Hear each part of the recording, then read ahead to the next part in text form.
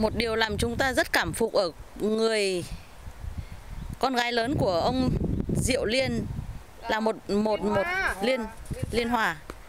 Luôn luôn đi theo để trợ giúp ông trong mọi lúc mọi nơi mọi hoàn cảnh.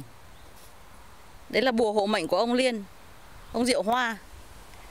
Liên Hoa. Liên Hoa. Phật tử Liên Hoa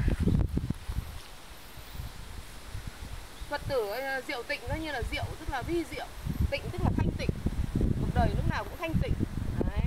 Thầy đặt cho có ý nghĩa lắm đấy chứ phải không? Hồng minh tức là là minh tức là là là là thông minh. Hồng tức là sen hồng.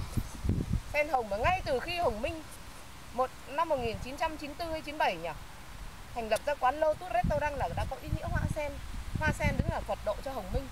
Dẫn đường chỉ lối cho Hồng Minh để Hồng Minh mở quán hoa sen đâu có phải ai cũng ở trên đất đất nước ờ, nước này cũng mở được quán hoa sen.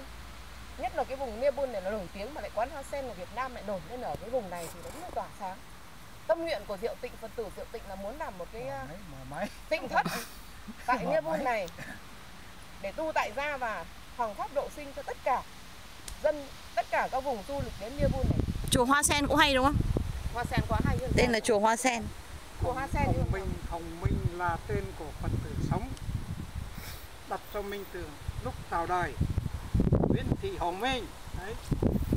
Đâu sao mà ngày xưa bố bạn đặt tên là đấy chứ nhỉ đầu tiên là Nguyễn Thị Hồng Minh. Hồng Loan là Thu Hà Hồng Minh là không không có chuyện đâu.